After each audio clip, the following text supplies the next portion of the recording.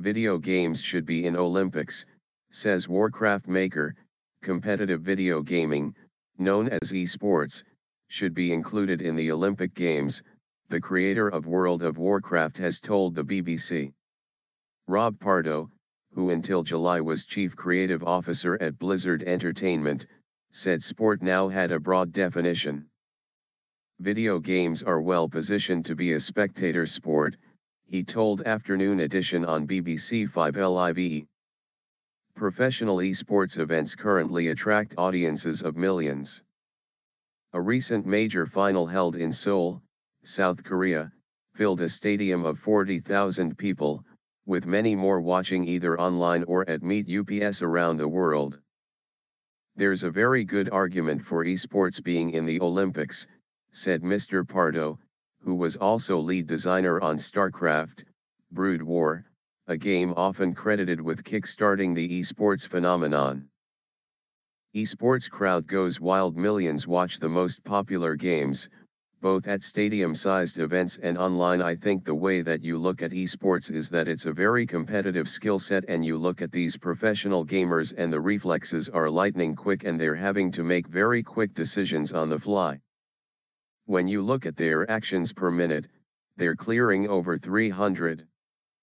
However, he conceded that video gaming faced a cultural battle to win over those who followed more physical sports. That starts getting into how you define sport, he said.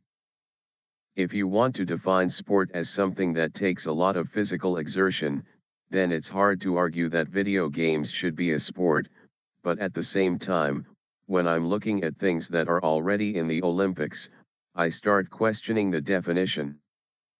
Mind sport having new sports admitted into the Olympic roster is a long-winded process and, since the International Olympic Committee, IOC, capped the number of sports allowed in the Games, has become increasingly difficult. Even if esports were to be recognized as an Olympic sport, that does not mean they would be included in the Games, it merely means a case can be presented to the IOC. Jump Media Player Media Player Help out of Media Player. Press Enter to return or tap to continue.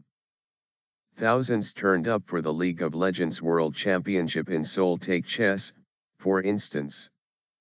Supporters of the game have long called for its inclusion the games, but the IOC has been reluctant, considering it a mind sport and therefore not welcome in the games. Video games face the same hurdle, but have done their best to at least act like a sport, by adding measures such as an anti-doping program. Mr. Pardo argues that esports could be visually appealing to a broad audience. You can do whatever you want with the graphics, you can make it be really exciting and competitive, he said.